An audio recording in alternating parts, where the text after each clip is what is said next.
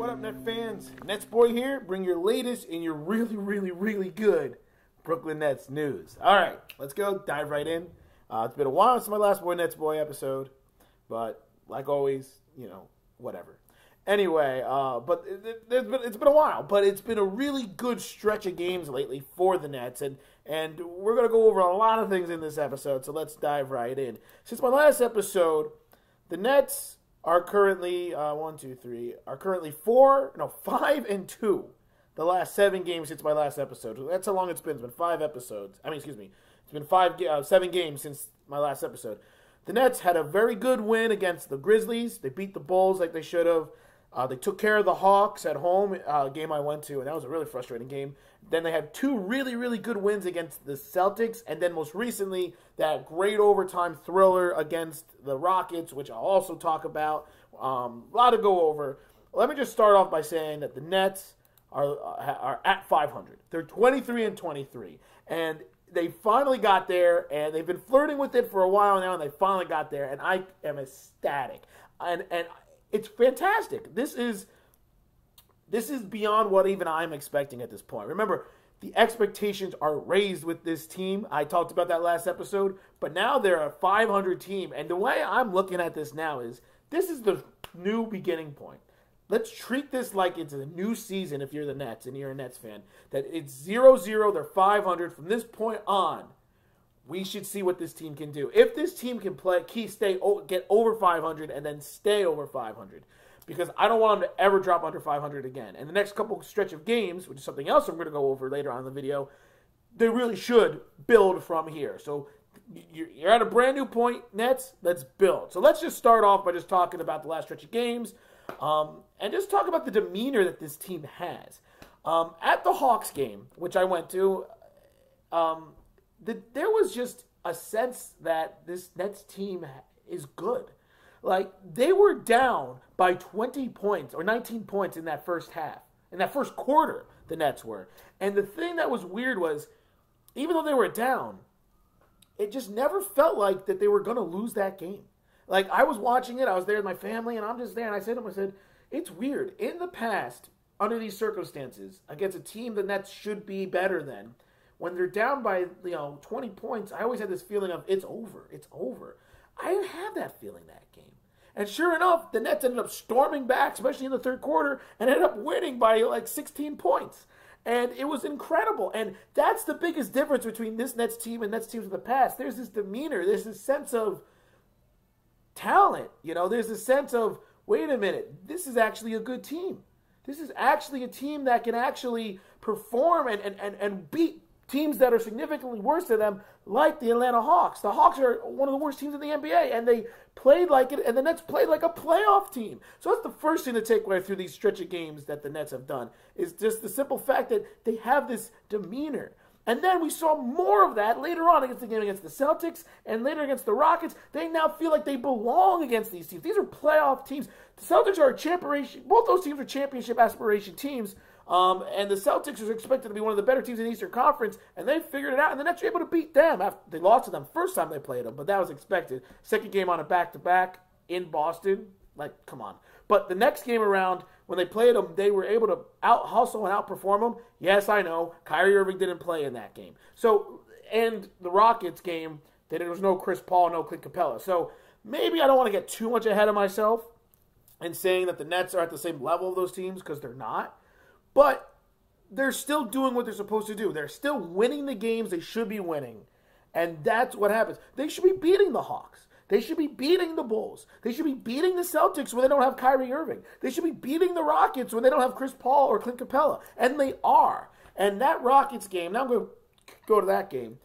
That was that was great. And I'm going to be honest, I thought the Nets were, I thought it was over. I had already said the Nets it's over. They're not going to win this game. They put up a good fight, but James Harden is just too much James Harden, and it's it's it's over. Good work, you know, hard fought Nets road game, whatever. Let's focus to the next game. But then Spencer Dinwiddie, who's been struggling like there's no tomorrow, just takes over the game. And I just want to say one thing. The Nets are getting a little bit more respect these days. Just just a little bit. But they are still getting no real respect. Do you know what everyone was talking about from that Nets game against the Rockets? It wasn't the fact that Spencer Dinwiddie single-handedly won the game for the Nets towards the end, or that Jarrett Allen had his first career 2020 game, or that uh, you know uh, um, uh, Graham, uh, uh, Tavion Graham had a career high 20 something points. No one talked about that. No, no one talked about the fact that the Nets were down by uh, 10 points with like three minutes to go and came back to tie the game. And they're down by seven with a minute and a half to go in overtime and won the game. Nobody talked about that. No one talked about Dinwiddie's performances down the stretch, scoring 33 points and taking over, hitting, making three huge three point shots at the end of regulation to, to send it to overtime. No one talked about Dinwiddie's game winning shot when he got fouled in the end one. No one talked about Jarrett Allen's double double, 24 points and 20 something rebounds. Uh, uh, no one's talked about Tavion Graham's career high 20 something points. No one talked about that. They said, oh, the Nets, they're playing well. Great performance by that. No, the talk is James freaking Harden and his 58 points. Okay, yes, good for you, James Harden. You shot 34 shots. You made 16 of them. You shot 47%. That's okay. But you were 5 for 16 from 3. So you weren't even shooting. No, worse than that. I think it was 5 for 19 from 3. Or 6 for 19 or something like that. You're shooting under 30% from 3. And you still lost the damn game. So why are we all, but all they were talking about, all ESPN was talking about, all the coverage was talking about, was James Harden scored 58 points. The first time since Wilt Chamberlain that a single player had back to back 50 point games. Good for you! Who cares? You lost the game. And that to me is just big slap in the face. Yes, James Harden should get props that, hey, you're the only one on the team right now, James Harden, because Chris Paul is out and Clint Capela is out. Who else is on that team?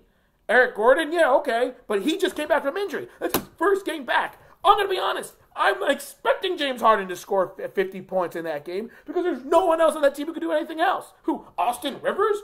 No, what? Gerald Green? No, no. Like, in all seriousness, that to me should not have been the main story. Yes, it's impressive. Yes, he deserves accolades and, and respect. But that's all they were talking about. Nobody else was talking about how the Nets were down by 10 points with less than three minutes to go and stormed back. No one was talking about Jarrett Allen's first career double 2020. Like, no one was talking. No one's talked about this Nets team that has tied for the best record in the NBA since December 7th. They are 15 and 5 their last 20 games. No one's talking about that. It's oh, good job by the Nets. They're playing well. They're playing good basketball. They play hard. But that James Harden, he scores those 58 points. He's amazing. Come on. That is terrible. That is disrespectful to the fullest. And I understand it because once again, oh, the Rockets, James Harden, MVP, they're the most championship team. The Nets, oh, they're just still the Nets. You know, there's still this condescending tone that everybody has with the Nets. Oh, how wonderful. You're 500. Oh, you're playing good basketball. Oh, that Dinwiddie, he's a he's a good guy. Oh, that D'Angelo Russell, he looks like he's good. Oh, Joe Harris. Oh, you're second in the league in three-point percentage. Oh, that's so nice. Oh, Jarrett Allen. Oh, Jarrett Allen, you only have blocked LeBron James, Blake Griffin. Uh, uh, uh, he blocked James Harden as well that game. You only blocked Carmelo Anthony way back in the day. You only blocked LeBron. You blocked, you know, you're just, you're just, you're just a good little athletic player. You're, you're, you're so good. Tavion Graham, you're almost a nobody. You scored those 20 points. How nice. Like, that's the feel this Nets team is still getting. And that is disrespectful. And I think, hopefully, after that Rockets game, they're finally getting the level of respect they deserve. But no, no, talk was still James Harden at his 58 points. Maybe it will change moving forward if the Nets go on a nice little streak here some more. I mean, everyone's saying Brooklyn Nets are a tough team. They're all, they play hard, blah blah this, but no one's taking them seriously. And look, I'm not going to stand here and say you should take them seriously, but give the team props.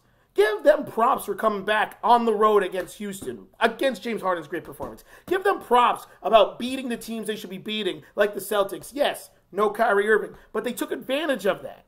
Yes, I mean, give them props that they erased a 19 point deficit against the Atlanta Hawks. Yes, it's the Hawks, but they eliminated a 19 point deficit. This condescending feel that this team gets is wrong, and it's time for that to change. So, moving forward, it, it, it's up to the Nets to change the narrative, and it starts now. Starting with uh, the next game, Friday's game against against the uh, Magic, winnable game. They got a lot of winnable games left, next up. All right, they got to beat the Magic. All right, and then they got the Kings in Barclays Center. Got to beat the Kings. Kings have been a pleasant surprise as well, but I think they're better. Then I got the Magic again in Barclays Center. Winnable game. Then I got the Knicks in Barclays Center. The next four games, the Nets should win. They should go 4 and 0 the next four games and go four games over 500. And then they got the Celtics again, and that's going to be a tough game, but they beat them once before, so let's see what they can do. And then they got the Bulls, another winnable game. And then they got the Spurs. Okay, Spurs could be a loss. So the next six games, seven games, they should win at least five of the next seven games. And that is what I'm expecting moving forward. The next seven games, they should win five of the next seven, and they should be three games over 500 at that point, and they should build from there. They should build from there. Because, I mean, this is the stretch. This is what they need to do. And maybe, maybe they'll start getting a little bit more respect. Because guess what? They got the Magic again after that. Then the Bucks come to town. I'm gonna try to go to that game. I don't know. I mean, they don't have an easy schedule, but I believe that this Nets team can beat anybody now, the way they're playing. And I really do believe that.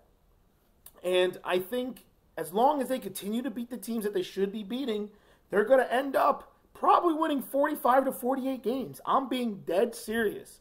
If they beat the teams that they should be beating the rest of the season, they'll be 45 to 48 wins. They really should. They really should. I mean, I can, like I said, I can briefly just look at the schedule. I already count those five games. They should beat the Bulls. That's six. Cavaliers seven. Hornets eight. Wizards nine. Hornets again ten. Heat, I think they're better than, so that's 11. Mavericks 12. Cavs again 13. Hawks 14. Pistons 15. Kings 16. Uh, well, then I go through a tough stretch. Six, six, 16 more games. Maybe a little bit more. 16, 17, 18 more games. 16, 17, 18 more games. I expect them to win. 18 more games at 23.